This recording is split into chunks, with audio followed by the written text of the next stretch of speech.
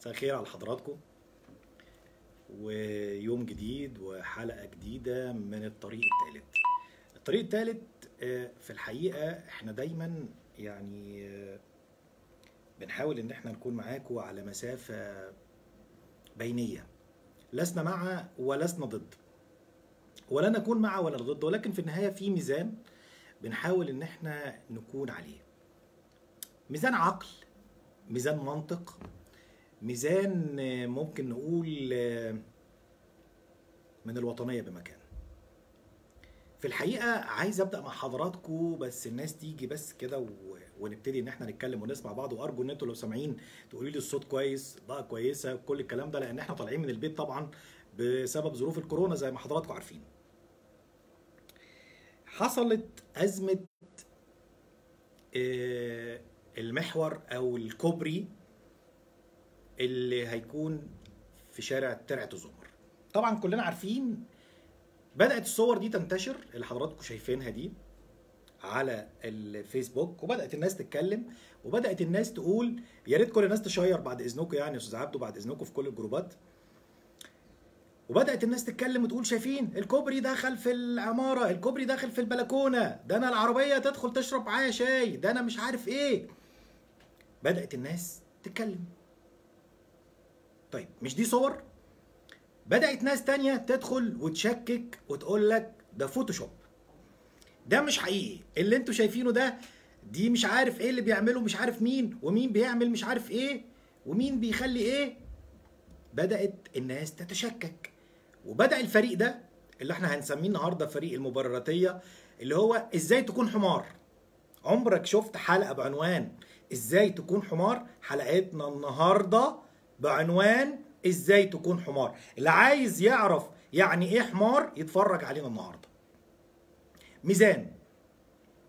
وبدأت ناس تقول لك ده فوتوشوب واللي عامل ده دول ناس خونة ودول ناس ضد البلد وناس مش عايزين مصلحة للبلد. وتعالوا شوفوا الصور الحقيقية. تعالوا يا عم نشوف الصور الحقيقية اللي هم عرضوها. دي الصور اللي كانت بتتعرض. أهي. اللي هي فعلا إن إن الكوبري ملاصق لل آه، لل- لل- للبلكونات بتاعت الناس. لا إزاي؟ دخلت بقى الناس المبرراتيه الناس اللي هي شغلها إن هو بص بقى وادي الصور وادي المحور وادي الكوبري شايفين بعيد إزاي عن العمارات؟ شايفين بعيد إزاي؟ مش عارف عن إيه. لا طبعا دي الصورة اللي هي الملاصقة. وبدأوا إن هم يحسسوا الناس إن فعلا الصور اللي اتذاعت في الأول وإن الكوبري الملاصق للعمارات ده مش حقيقي. وأهو وأدي الصورة الحقيقية وأدي الكوبري الحقيقي وأدي مش عارف إيه. لحد ما بدأ الموضوع ياخد حجم تاني وبدأت الناس تؤكد إن الصور حقيقية مش متفبركة. يطلع المبرراتية يقول لك آدي الصور ودي متفبركه الصورة دي متفبركه مش عارف فين ومين بره مصر بيعملوا مش عارف فينا إيه ومين جوه مصر اتفضلوا شوفوا الصور الحقيقية. ويعرضوا لك الصور اللي أنت شايفها دي. وتبص على الصور تقول أيوه فعلا ما الكوبري بعيد أهو عن العمارات. إيه الناس الوحشة دي اللي كانت عايزة تخلينا نقول إن الكوبري لازق في البلكونة؟ كوبري إيه اللي لازق في البلكونة؟ هو في مهندس يعمل كده؟ طبعا هو ما فيش مهندس يعمل كده لأن اللي عامل كده حاجة تانية. النهارده إحنا مش هنناقش ده مهندس ولا مش مهندس. مش هنناقش ده صح ولا ده غلط. إحنا بنناقش المواطن الحمار. إزاي تكون حمار؟ ده اللي إحنا هنناقشه النهارده. وبدأ الفريقين. فريق يقول لك الصور اهي ملاصقة للعمارة وملاصقة للبلكونات وفريق تاني يقول لك لا ده بعيد ما تصدقش ده فوتوشوب والصور اهي. ودي الحقيقة والعمارات بعيدة والكوبري بعيد. وطبعا الناس محتارة. الناس محتارة. تصدق مين؟ لحد ما جه بقى إيه؟ حتة كده بدأت الناس تستميل ليها شوية. بعد عرض الصور دي ويقول لك ده الكوبري بعيد. أهو شايفين؟ المتآمرين الوحشين الخونة. وهجي لكم دلوقتي على فكرة الخونة دي. مين الخونة؟ وهنطلع وهعرف حضراتكم مين الخونة اللي بجد. وبالتاريخ والمخابرات اللي هتعلمنا مين الخونة. بدأ يبتدي الموضوع ياخد زخم رأي عام. بدأ الموضوع الناس عايزة تعرف الحقيقة فين. هو فعلا في كوبري لازق في البلكونات كده ولا الموضوع مش كده؟ بدأ يطلع سيادة اللواء رئيس الجهاز المركزي للتعمير في التلفزيون ويتكلم. وبدأ يقول لك إحنا هنعوض العمارات المرخصة والمش مرخصة إحنا مش هنديها تعويض. لحد هنا نفهم إيه؟ نفهم إن في عمارات مداره إن فعلا المشهد اللي إحنا شايفينه ده أصبح حقيقة أو يقترب من الحقيقة. أو إحنا بنقرب ونعرف مين كذاب ومين مش كذاب مين صح ومين حمار. وهنعرف قصة الحمار دي دلوقتي في ناس على الفيسبوك بتلاقيه كده بيتطوع في الدفاع. لحد ما طلع وشفنا المشهد ده. تعالوا نسمع مع بعض. ده رئيس جهاز التعمير طلع في التلفزيون مع مع عمرو أديب. طلع بنفسه. ومع مين؟ مع عمرو أديب. أهو وقال له مفيش حد هيدار. إحنا حضرتك عندنا يعني سامعين؟ اللي حضرتك شايفه ده فيه 20000 متر مربع نزع ملكيه اتعمل بيهم لجنه ودي لجنه معتمده علي السماعة دي.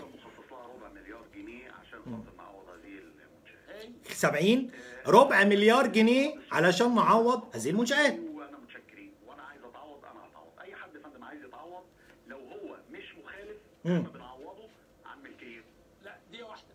تقصد يتعوض ياخد فلوس ويفضل موجود؟ سامعين بنفسكم؟ ياخد فلوس ويمشي؟ ياخد فلوس وهيمشي. ياخد فلوس ويمشي. لكن للمخالف يا فندم ده ملوش حاجة عندي. العمارات اللي- طبعا. سامعين بنفسكم؟ المخالف ملوش حاجة عندي المنطقة اللي حضرتك بتتكلم مش دي قضيتنا دلوقتي.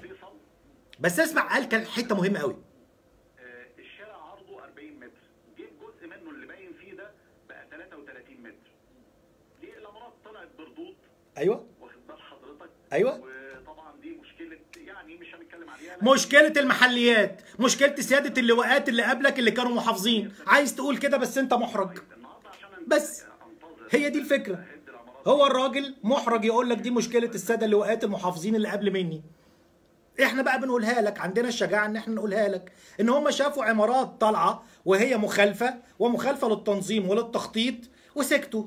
سكتوا إزاي؟ عن طريق السوس اللي بينخر في جسد مصر الموظفين الصغيرين اللي بيعدي ياخد رشوة اللي بيعدي ياخد إكرامية اللي بالليل بيقعد على القهوة مع مهندس ال- العمارة والمقاول وبيظبط حاله. مش ده اللي بيمشي؟ آه هو ده اللي بيمشي. طب إحنا عارفين الكلام ده؟ آه إحنا عارفين الكلام ده.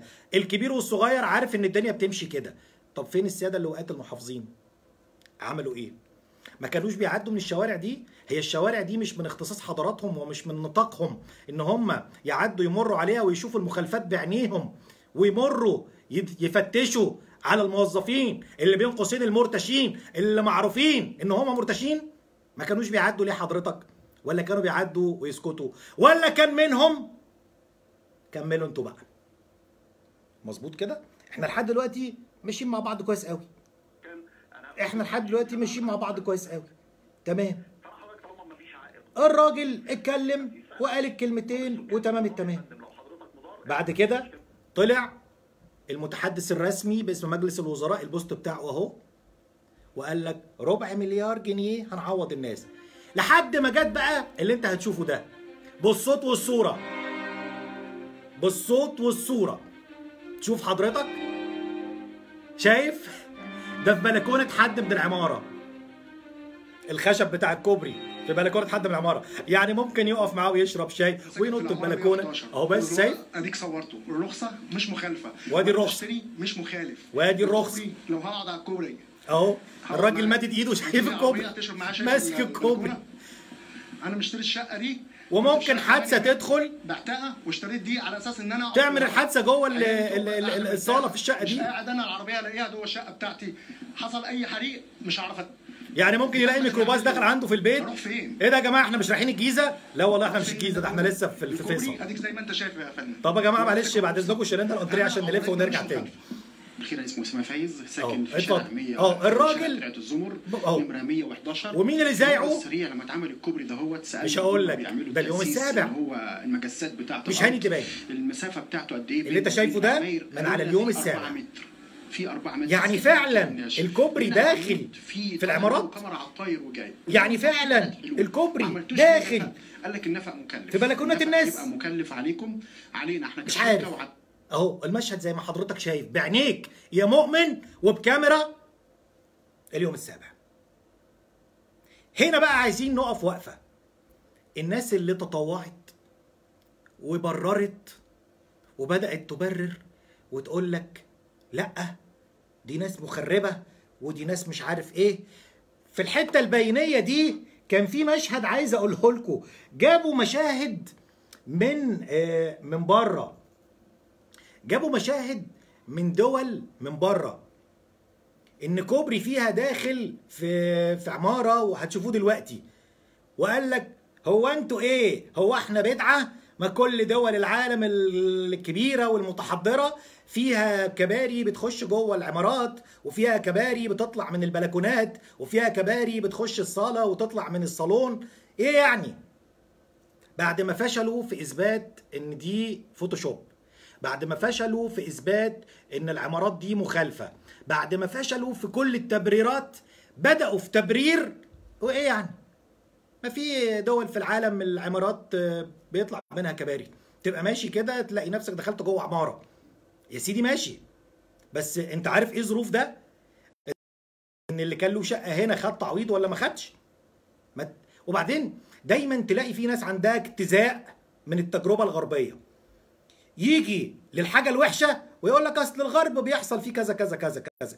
ما تاخد لي التجربة كلها. ما تاخد لي التجربة كلها. خد التجربة كلها بحلوها بمرها. مش تاخد الوحش اللي فيها وتقول لي أهو أنت مش عاجبك؟ ما هو بره بيعملوا كذا كذا كذا كذا. يا سيدي خد لي التجربة كلها.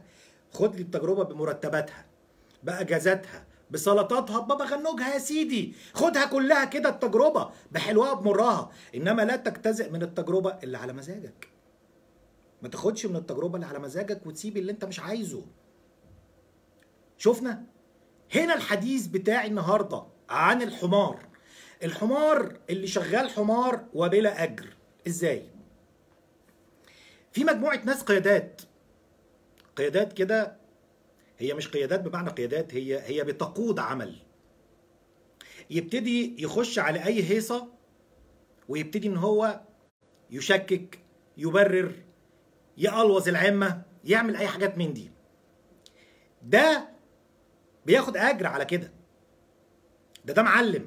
ما هو كل الناس اللي بدأت تقول لك دي فبركه وده فوتوشوب وده موتوشوب وده مش عارف إيه دي الناس اللي هي بتقود هذا العمل. العمل الفيسبوكي اللي هو ال social media. الناس دي بتاخد أجر على الكلام ده. يجي الحمار بقى اللي من غير أجر. وخلي بالك ده ممكن يكون مقتنع أو غير مقتنع هو بالنسبة له مهنة بيأديها. ده مش حديثنا دلوقتي. حديثنا عن الحمار. اللي يجي داخل عند ده ويجي عامل share ويا خونه يا وحشين يا قلالات الأدب يا اللي بتشككوا يا اللي مفيش حاجة من دي يا فوتوشوب يا موتوشوب. أنت حمار. على طول لأن أنت انسقت ورا واحد شغلته إن هو يغسل لك دماغك شغلته إن هو يلففك حوالين نفسك. نفس الحمير دول هم هم. على فكرة ما بيختلفوش وما بيتغيروش وما بيتعلموش وده الأهم.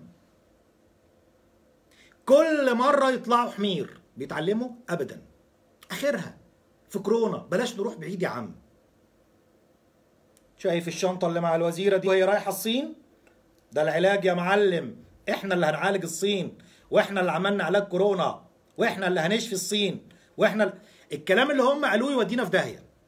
لو فعلا إحنا كان عندنا علاج ورحنا بيه للصين دون آه، بقية العالم إحنا كنا هنروح في داهية. فعلا يبقى دي الدبة اللي قتلت صاحبها. وبرضه ما اتعلموش ورجع تاني طلع عندنا بيان رسمي إن إحنا ما عندناش علاج للكورونا. والله يا جماعة ما عندنا علاج للكورونا. يا إخوانا قال لك والله ما عندنا علاج للكورونا. لا إله إلا الله.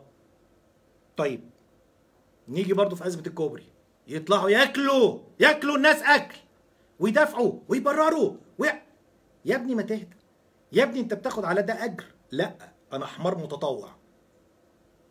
ما هو الحمار اللي أنت شيرت منه ده آخد فلوس. أنا أعرف ناس مرتباتها بتوصل ل ألف جنيه قاعد في بيته فقط للفيسبوك وواحد تاني لتويتر وواحد مش عارف لإيه.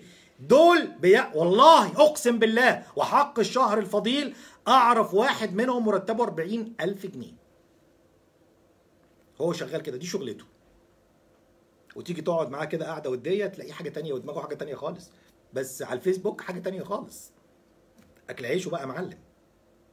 فأنت شغال تنقل من دول دون وعي دون إدراك وموقف دماغك.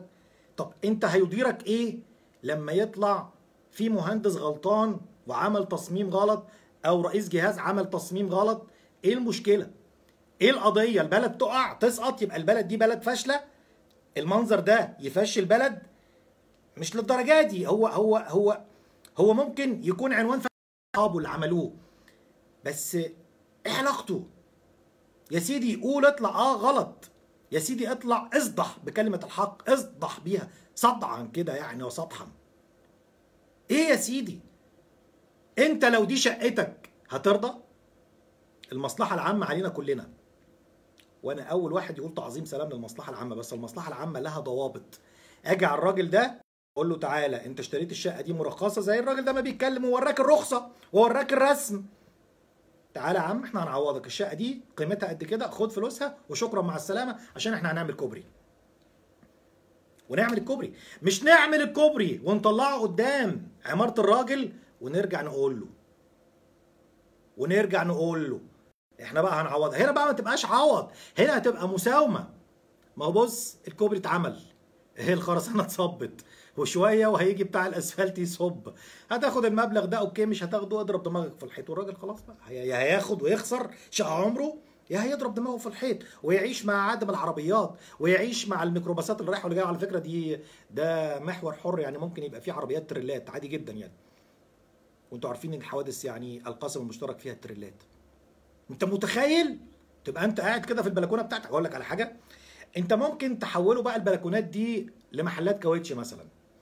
أو لكشاك سجاير وحاجة ساقعة برغم يعني بلاش السجاير وشوكولاتات وحاجات ومية وكلام من ده.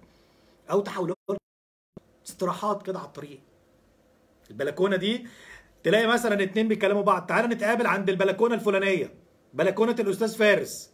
لا لا لا لا قابلني عند بلكونة الأستاذ عزت في العمارة اللي قبليها. أصل عندهم شاي كابوس وأنا عايز شاي كابوس. إيه ده يا عم؟ إحنا فين؟ إحنا فين وكان في بدايل. بص بقى. المشكلة إن في بدايل إن أنت ممكن تعمل بدايل. والناس قالوا البدايل في نفس الفيديو ده. هو يعني الراجل اللي بيتكلم ده أو اللي قبليه قال لك ما إحنا ممكن نعمل حارتين فوق بعض ونبعد عن العمارات. ما إحنا ممكن نعمل نفق ونحمي العمارات. ما الفلوس اللي هتدفع للتعويضات الربع مليار اللي تم رصده. لل... لل... للأراضي اللي هيتم سحبها ده غير العمارات. خلي بالك الربع مليار ده ده لجنة لوحدها اتعملت وخلاص وانتهت لنزع ملكية 20000 متر مربع. غير العمارات دي يعني التعويضات دي ممكن تصل لمليار جنيه. هل المليار جنيه ده ما كانش يكفي إن إحنا نعمل نفق؟ والله بس سؤال للناس المتخصصة. أنا مش هجاوب. أنا بطرح السؤال. لو قلنا المبلغ هيوصل لمليار ما كانش يكفي إن الناس ممكن تعمل نفق ونطلع من الأزمة دي؟ نستنى الرد. نرجع تاني للحمار. انت مصمم ان انت تبقى حمار لحد إمتى؟